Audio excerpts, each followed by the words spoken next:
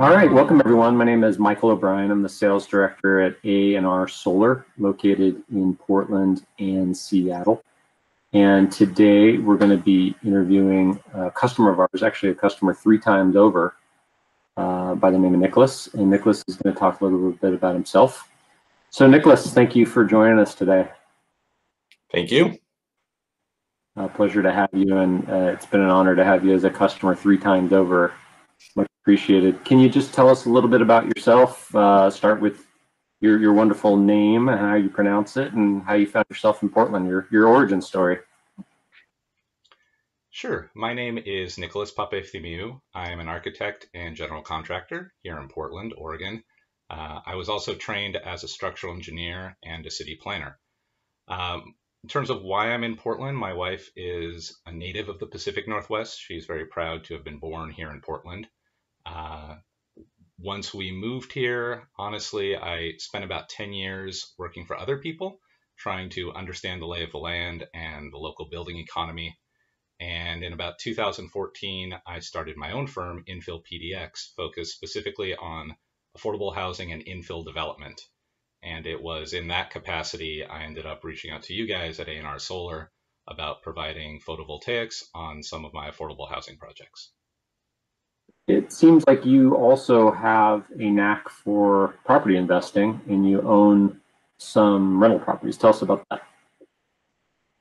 Uh, certainly, yeah. Uh, we think of our property investments as ways to test our theories about how to make better affordable housing and not just as investment vehicles. So, you know, in our mind, affordable housing should be close in as opposed to at the periphery of the city. It should be integrated with existing urban environments as opposed to confined to new towers and projects. Uh, it should be financially remunerative to the tenants as well as the owners. And that's something that's very hard to do. But these are people, by definition, they don't have a lot of money. So any money we can put back in their pockets means so much more to them than the same amount of money would mean to me. Um, so that was something that we'd like to explore with affordable housing. Uh, also, a lot of BIPOC and minority communities are really overrepresented in low income housing markets. Uh, these are people that have faced historic and systemic uh, discrimination. And one area that we see that in is uh, health outcomes. We really at Infill PDX view housing as a form of public health. So we have a responsibility to use our healthiest materials and our most sustainable strategies in providing housing for these people. So that's a lot to ask. Um, that is not something that is supported by the current model of affordable housing development. But I think Infill PDX has shown that it can be done. Um, together with partners like A&R Solar, uh, we've built new construction uh, duplexes at $150 a square foot that are net zero, that do win design awards, that make the investors money, and also return money to the tenants uh, that are embedded in thriving existing communities and that integrate a mix of socioeconomic uh, strata. So um, it can be done, and I think a big part of that is, you know, sustainable energy solutions like A&R Solar. Excuse me. Another part of my desire to open my own firm was a reaction to the inefficiencies in affordable housing development. You have client to developer to engineer to contractor to landlord to property manager. Um, by opening my own firm, I was able to embrace all those roles and wear all those hats. Um, we did get licensed as a construction firm. We're able to do our own development and our own investing, and we manage our own properties and are able to build ongoing relationships with our tenants. Um, so that's how we got into rentals. It's not an investment opportunity as much as a way to demonstrate that there is a better way to do affordable housing. Um, of all of the strategies you've deployed, uh, why solar? And when did you first consider it? When did it uh, achieve the level of uh, efficiency or what have you uh, to include it in your in your quiver? Yeah, absolutely uh, I would say first, as the designers and builders and clients of these projects, uh, we have a lot of control. So we can talk about things like optimal roof pitches and orientation from the outset. And so I knew it was something we wanted to consider. Uh, the reason it was so attractive for my projects was that uh, solar power production represented a way to get money back into the tenants' pockets. So, uh, to understand that, you have to think about how a housing voucher works. When a tenant has a housing voucher, that's money for their total housing burden, represents both their utilities as well as their rent. So, if we can minimize the amount that they're spending on utilities, then we can stretch their voucher further. Um, sometimes they don't need the entirety of their voucher for a comparable property in the same zip code. And in that case, the agency issuing the voucher can get that money back and they can use that money to house more people. So even without changing rents, we're getting more mileage out of the voucher system. We're preserving state and federal housing dollars, and we're able ultimately to get more people into secure housing. The trick is getting the solar panels onto the units. Uh, obviously, the tenants don't have a lot of incentive to install solar panels that they own on my properties.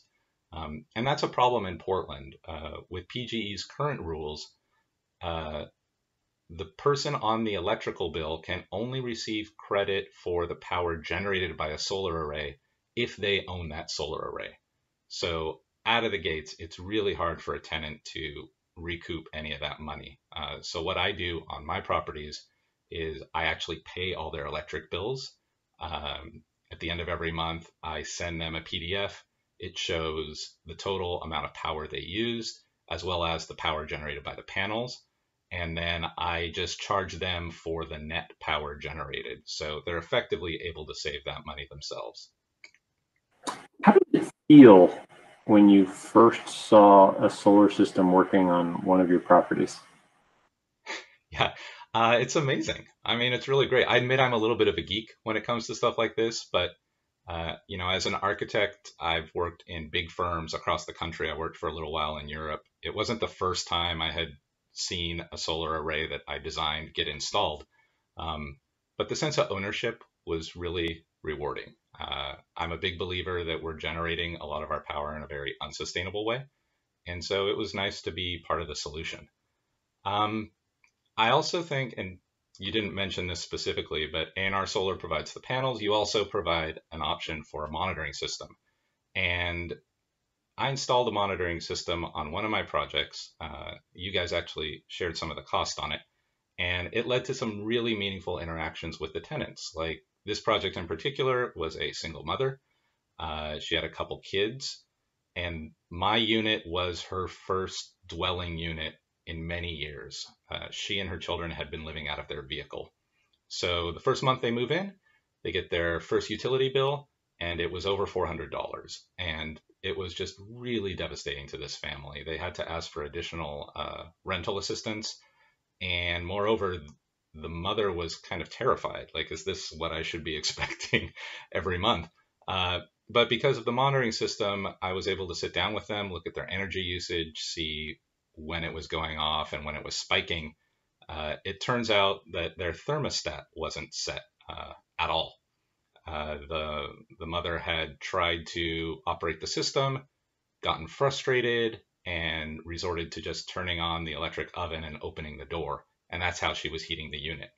Um, but as a result, we were all able to sit down and I taught them how to use the system, how to read the system, how to access the monitoring software.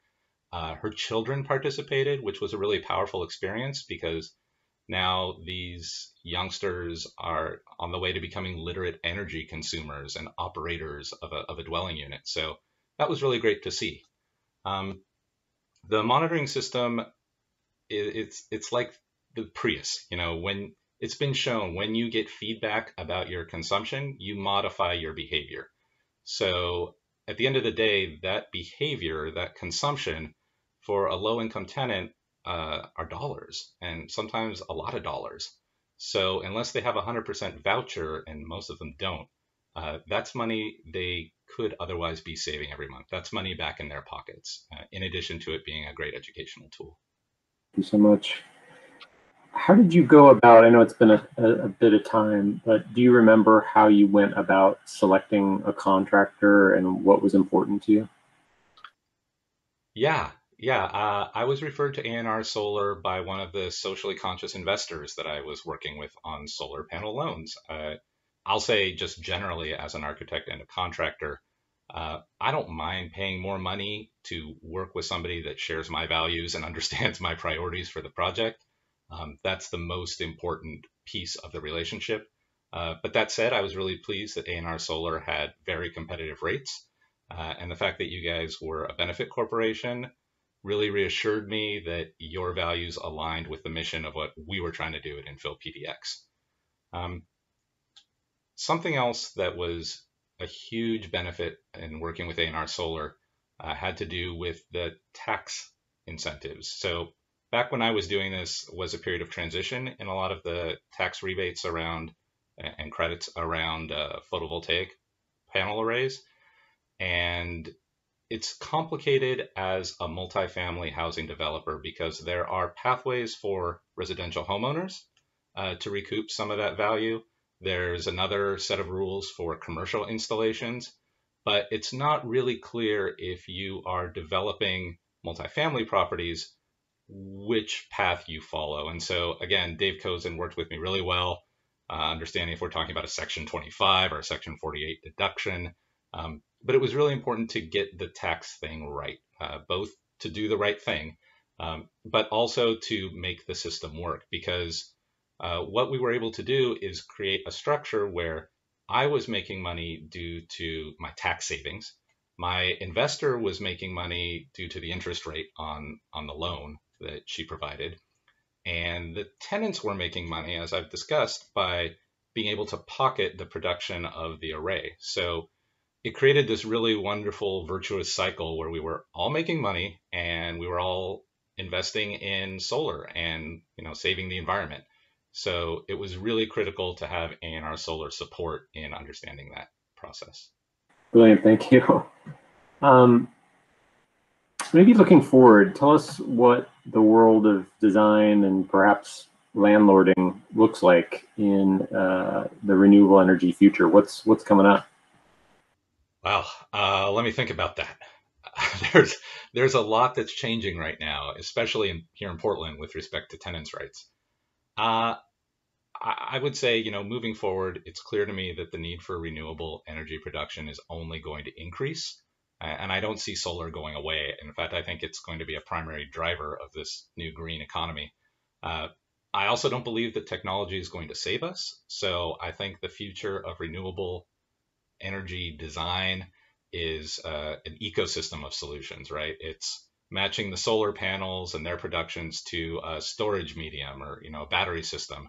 Uh, what's the right energy efficient heating system or ventilation strategy um, paired with you know low use appliances and passive design strategies. Um, fundamentally, though, a building is going to be powered by electricity or gas. Uh, I am not comfortable with the environmental footprint of uh, natural gas extraction. So I tend to believe the future is much more electrical uh, in terms of energy, and I think solar has a huge role to play there. Um, in terms of moving forward, here in Oregon, I think we have a lot of work to do around microgrids and community solar. Uh, I know other places in the country are ahead of us in a lot of ways on that. Uh, here, our regulatory structures aren't quite set up to, to take that. Um, but I think developing a system of you know microgrids or distributed batteries um, really provides a lot of benefits to homeowners and tenants that might not have a lot of great solar access. Lets them get in on the solar pie. Um, it also builds resilience in communities. Um, we've learned a lot about uh, infrastructure failure here in the Pacific Northwest recently and uh, a distributed system is going to be a lot more resilient. So I think that there's a role for solar to play with that. Good, agreed.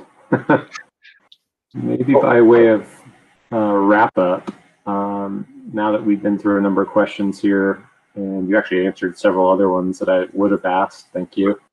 Are, are there any questions you wish I would have asked you uh, now that we're closing up? Oh, uh, yeah. Uh, let me think about that. Uh, okay. I'll begin by saying that I'm always hesitant to reduce the conversation around solar or renewable energy uh, to payback and ROI. I, I, just don't think that's a good way to frame renewable energy investment. Um, but having said that, I think if solar panels or renewable energy solutions in general, if those are going to gain more widespread use and if they're going to pencil for more people, then there needs to be some sort of low interest loan. Um, we've already talked about how you can create this virtuous cycle um, with the right combination of tax incentives and uh, low interest loans. So I guess I'm curious if you guys have thought about that. I mean, I know there are lots of legal regulations around becoming an official lender, um, but at the end of the day, I think we as an industry have the technology. Uh, what we don't have is a scalable way to understand the potential of green investment